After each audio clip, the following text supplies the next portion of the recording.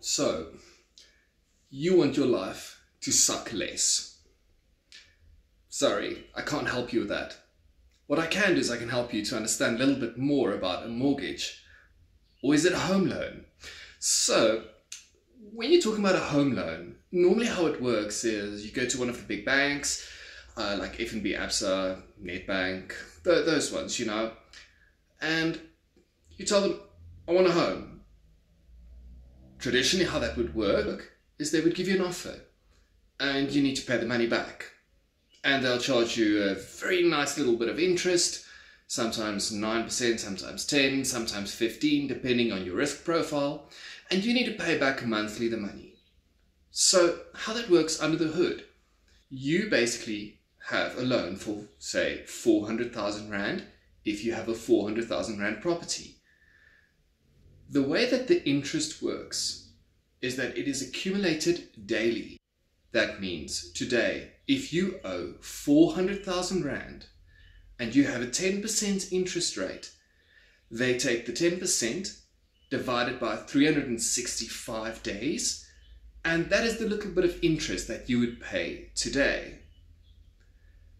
That would mean by the end of the month, you would have basically roughly 30 days plus obviously the compound interest that you need to pay back. So you might need to pay say a 400,000 Rand loan, you need to pay 3,200 Rand in interest, and the rest is to pay off your loan.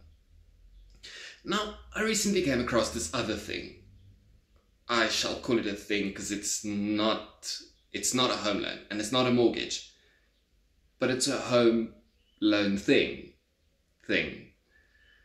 And what it does is they do it very similar to what, you know, when you uh, have a car loan. So what they would do is they would say in the beginning, yeah, we're going to give you 10% interest, right, for this loan. But what they do is, straight in the beginning, they say, here you go, we're going to put the full amount that you owe us with all interest. And they're going to take that and put it onto your loan. So now you don't owe them 400,000 Rand, you owe them 850,000 Rand or a million Rand, which is sort of a little bit awkward. Now, what difference does it make if you're anyway going to pay the full amount back? Well, say you want to pay off your home loan a bit earlier. This becomes a bit of a problem if you've got this thing. Because what you need to do now is if you've got a lump sum, so say you've got 20,000 Rand that you want to put down and you want to say, here, I want to pay it off faster. You're now going to have to go and contact the company and say, hello, I would want to make an extra lump sum payment.